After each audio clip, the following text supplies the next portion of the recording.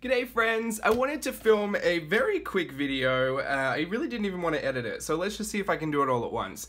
I wanted to talk about my current obsessions, uh, and these change all the time. Obviously there are things that, you know, come and go in our creative journey that we, you know, we, we get over or maybe we've mastered and want to move on to something else. I say mastered lightly because have we ever really mastered anything? I don't know. Um, but yeah, I want to talk about the things that are just at my desk, that are always at my desk, that I'm always using, I'm always reaching for, I'm always screaming for. Uh, yeah, this first one, the Tim Holtz Tonic Studios uh, paper trimmer, paper cutter, whatever you want to call it. Uh, super easy to fit on the desk. That's what I love about it. Um, I got this recently and I've just used it for pretty much everything that I'm just cutting up. Uh, I'll find a reason just to cut anything because I've got this at my desk and it fits, it doesn't take up much room, super great blade, very ergonomic, the entire design. I like this here that it can keep it flat and I don't you know, risk chopping off my fingers or anything. I guess I could. anyway, so um, the Tonic Studios Tim Holtz paper trimmer, paper cutter, that's what I'm obsessed with as far as mini paper cutters go because my actual uh, current obsession, which has been a yearly obsession, has been this. And uh, this is obviously not for everybody, um, and it's completely, it's not completely different to the other one that I just showed you. Essentially, it's just a paper cutter as well, but it cuts like 12 by 12. It's much larger, and this is a Swingline I got from Target, and I want to say it was actually really affordable, something like 20 bucks or something. So uh, yeah, the Swingline is great. I, uh, I do so much stuff with this, especially when I'm doing like a bulk lot of everything.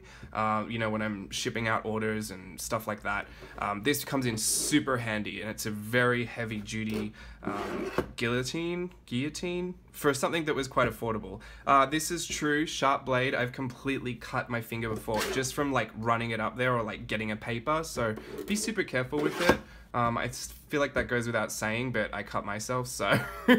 uh, yeah, the Swingline paper cutter is amazing as well. It's just really, really large, but that's what it's good for. Another obsession I have is washi tape, obviously. but um, especially these Tim Holtz washi tapes. I just, um, I, there's not enough time for me to go through absolutely everything, but can you just get into how amazing all of these patterns and designs are? I mean, it just it works with pretty much everything I want to do. So I'm just I'm really into it. Really great quality. I keep them all in this box separate just because I want to know where these specific ones are at any given moment moment moment moment. So I love these Tim Holtz washi tapes. Craft paper. Craft paper is a big obsession for me right now. Um, I also love to put with the craft paper these Faber-Castell Polychromos. Now these are very expensive pencils.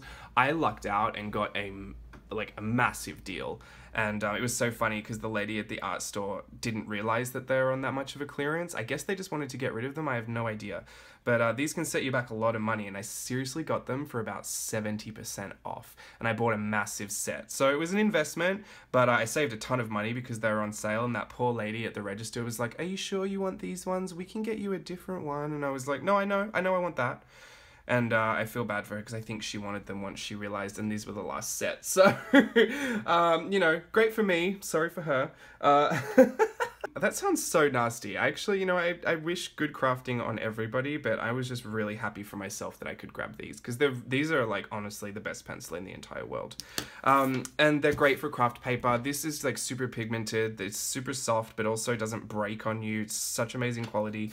And craft paper is so great because you can use pretty much anything like light colors, dark colors. It's all going to show up. And uh, this is actually a craft cardstock that I've been using. So I'm super obsessed with craft at the moment. Even bought a craft traveler's insert. I've been saving Trader Joe's bags to cut them up for arts and crafts because I'm just loving craft. Arts and crafts? Craft. Craft with arts and crafts. losing my mind. Another weird obsession I have at the moment is this Fiskars round punch. I don't even know what size it is. I want to say like two inch. I can't tell, but it's super ergonomical. And uh, and yeah, I just I'm really obsessed with punching things out in circles at the moment. Although I will say you've got to do it quite quick. And someone suggested that I punch some aluminium foil to kind of sharpen the blade, but it this happened like from the get go. If you punch anything quite slow, or maybe it's just the paper or something, um, it leaves like a little bit of a tab, which is fine. I can cut that off. But I noticed that if you just like yank it, do it quickly, it won't leave that tab. So I'm obsessed with this too. Another tool I guess I'm obsessed with is these There are Tonic Studios as well, the Tim Holtz scissors. I have them in three sizes, and honestly, all three are amazing.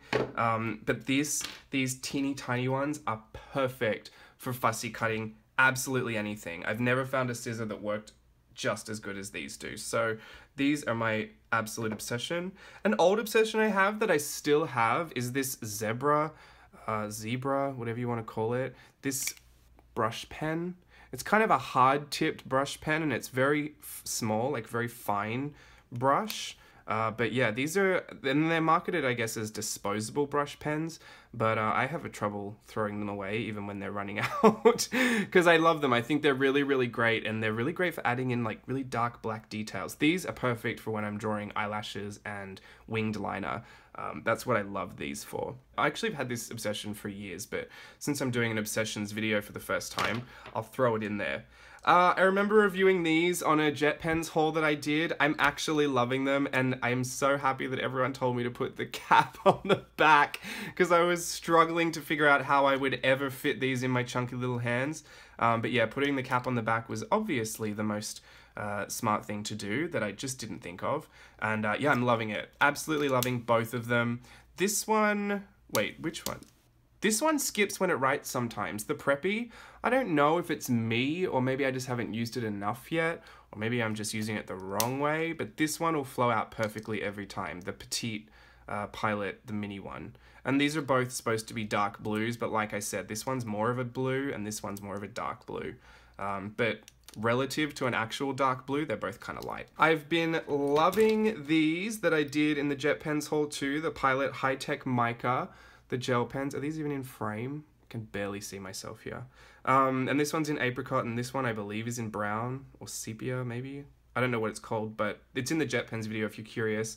I've been loving both of these. For sketching, I'm totally into sketching with pen straight away now. Like, well, I mean, I've been to it for a while, but uh, leaving all the construction lines, and these are so fine that they just work beautifully. But they are water reactive, so that's been a bit of a downside. I love this. This is from my JetPens haul too. The Micron in the Hunter Green. I love it.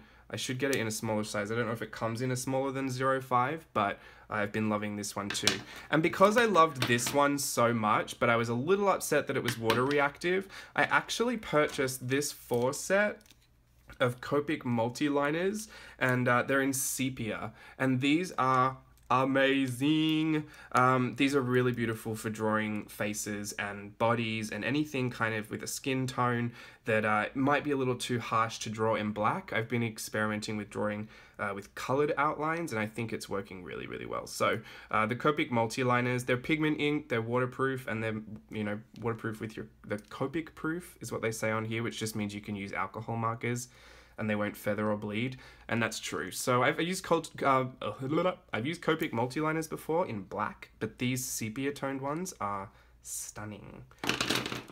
I ratted out on this Uniball Signo. I know in the JetPens, I was like, the broad tip is just too broad for me. But uh, scratch that, take it back. It's been fantastic. I've just learned to uh, go with it and uh, kind of work around how broad the tip is. And you know what? I've realized that actually lately I haven't been doing things that I've needed a super fine white tip gel pen for. And like I said, I've still got my um, Sakura Gelly Roll, so that's been fine.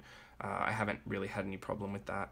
These are not new obsessions, but these two are new. These are Tim Holtz water brushes, and I just love pretty much any water brush, but these are pretty, um, these stand the test of time, and these are really good ones. These are new. I've lost my old ones. Uh, that's how much I love them. Oh, well, I didn't lose this one. This one's just full of black watercolor because sometimes I like to do gray washes uh, or gray shading, I guess, like just using them for shading. And um, this one's been battered and you can see it still comes to a nice fine point. There's one hair out of place, but that's not going to ruin your artwork. This is, I've literally had this one for years.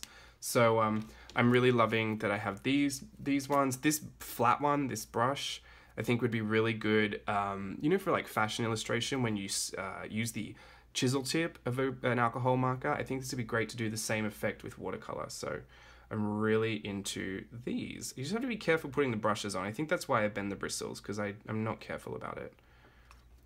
I'll figure that out. Another obsession I probably don't have to talk about because I've used them all the time is the Jane Davenport Mixed Media Watercolors. Now, this is the neutral palette. I've just cleaned this and it's already looking battered again. Um, and this is the Brights palette. I'm um, I'm so far down on Best Friend. I can't wait to hit pan on that. And um, yeah, I mean, look, it looks like I've barely used them, but honestly, I go in on these almost on a daily basis. So the Jane Davenport Mixed Media Watercolors, I'm really, really obsessed with. It's really great if you want to check out all the light fastness and the pigment uh, info. All of that's listed on the I believe it's on the website or you can read it on the packet. I know that if you type it into Google, you'll probably find what you're looking for, but um, really, really great stuff. I love how they pool and watercolor. So if we're going to talk about watercolors, I should probably talk about the Daniel Smith.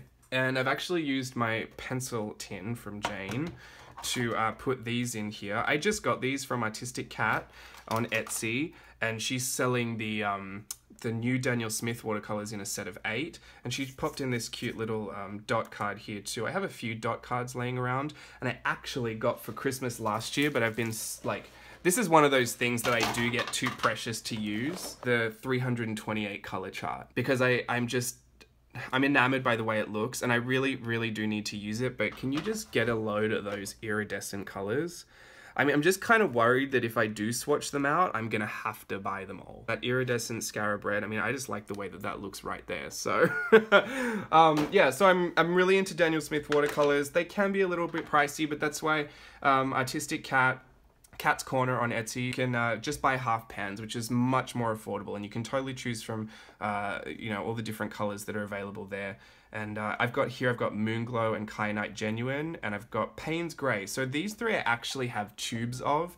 I got the Payne's Grey because it came a part of the set, even though I didn't need it, but it is more effective for me to have these in a half pan, to have them dried out in a half pan, go in with a water brush, go in with a paintbrush, and um, and use them that way. I t- I don't tend to grab the tubes and use watercolors already wet. Does that make sense? You know, straight out of the, the tube. So I said tube. I almost said tube. I probably said tube already, but I'm working on my Australian pronunciation. Uh, so um, also in here, if we're going to talk about full favorites, uh, in the Jane Davenport Brights palette, I love Best Friend. I love Vitamin C in the Neutrals palette. I love Wisteria is one of the new Daniel Smith watercolors that I'm obsessed with. Uh, I love Lavender too. These are so pigmented. They come out amazing. Quinacridone Lilac is so bright. I cannot believe how bright that is. Um, and Moonglow is an obvious obsession for many people. Kyanite Genuine. I don't know if you guys know about Kyanite Genuine, but that's like one of my all-time faves. Uh, it's got this like, it's a genuine watercolor, which means like it's, the pigment is from the mineral, kyanite.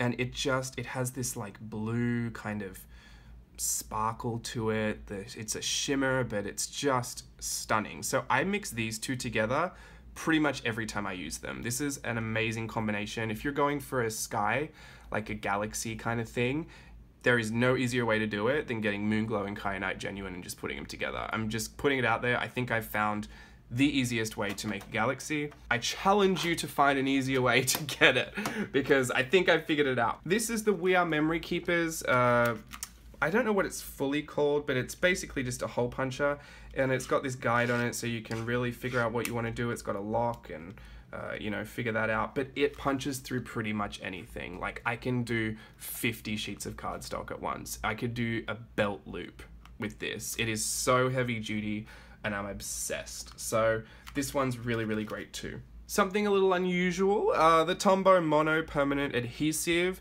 This tape runner is fantastic. I've been not so crazy about getting a really flat, you know, everything glued down look in my journals, especially when I'm like scrapbooking type thing.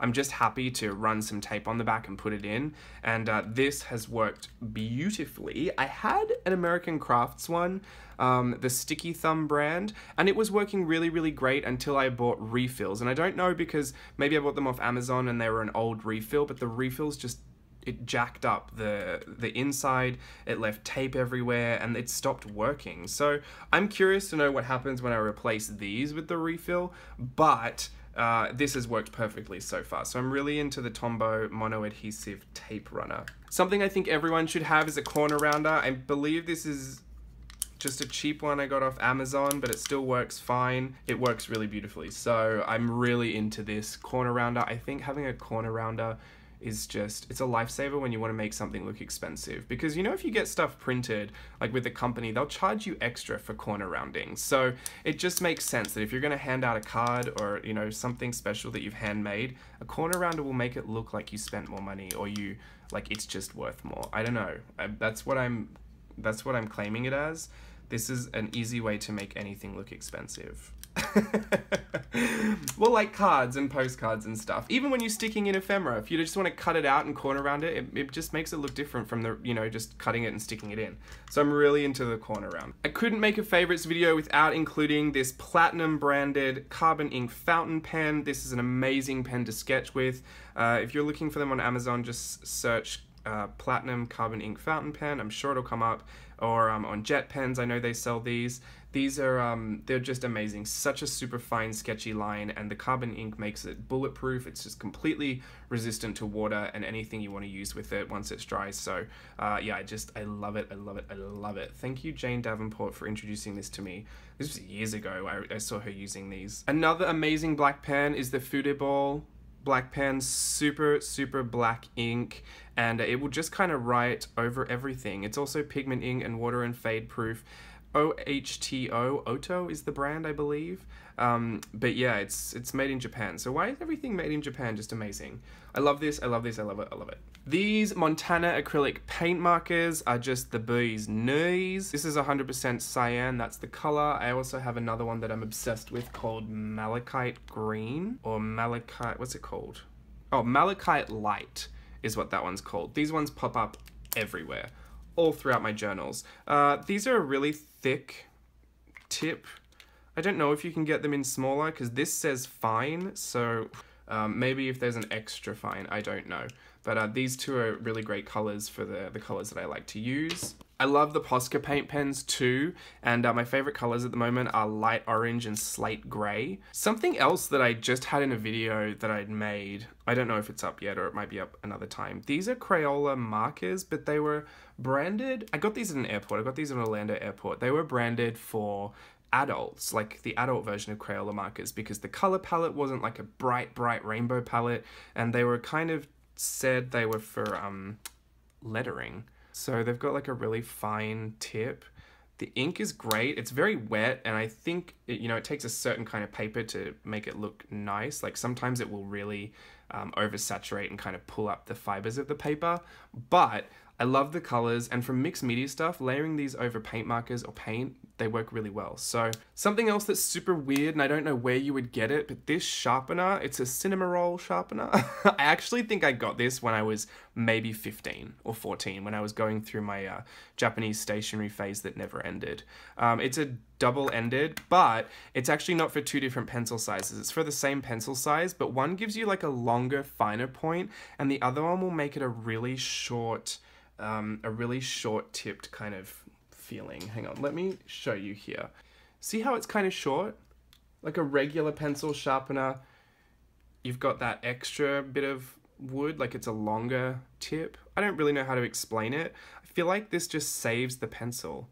Like it, you can just use it for longer if you're sharpening it with this end. So I don't know. For me, this is uh, gonna save all my pencils, even though I'm yet to actually go through a pencil. Uh, so, um, but yeah, I'm super into that. We're almost done, but I had to throw in the Jane Davenport Mermaid markers. They're just really fun and different to use. I love pooling them with color and using them for a bunch of different stuff. Everything I've been doing lately has just been so loose and um, sketchy and messy. So uh, these really work well for that because the brush tip, I can, you know, obviously add all my details in with the brush and then just grabbing the water and pulling it out uh, pulling all that ink around is just such a nice.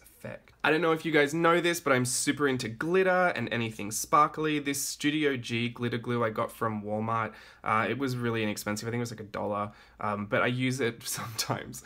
I don't think people like seeing glitter, and to be honest, I've left it out of a lot of stuff because it doesn't photograph well or scan well, and you can't really print glitter, which is unfortunate. But um, yeah, I do use this from time to time. I probably just more put it on my face and walk around the house with it. All right, and the last thing I wanted to include was the Sakura Souffle because I'm all always talking about them. These, if you write really slowly with them, you'll um, they'll have like a bit of a puffy effect, kind of like they've puffed up a little bit, like souffle.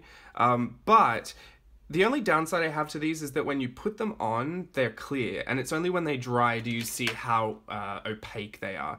And I've got them in different colors here, like this orange and this green, uh, the purple and blue, but they dry a lot lighter than this. So they won't look like this color once they're dry. They'll be a very soft pastel version of this, but they're completely opaque. So if you can deal with seeing the invisible lines as you're using them, these are really, really amazing for opaque pens, which is something I know we're all looking for when we're doing mixed media because, you know, once the layers are down and we want to put something on top, it gets a little difficult. But uh, that's everything for my favorites for now. I'll probably be back, probably back. I'll probably be back another time with a bunch of new favorites, or maybe I'm just gonna make the same video because everything I use already I completely love. Um, but yeah, anyway, I hope you enjoyed that. If any of these are your favorites, let me know. If there's something missing from here that you think I need, I'm dying to try, uh, let me know in the comments below. And yeah, hope you enjoyed seeing all my favorite things. Bye.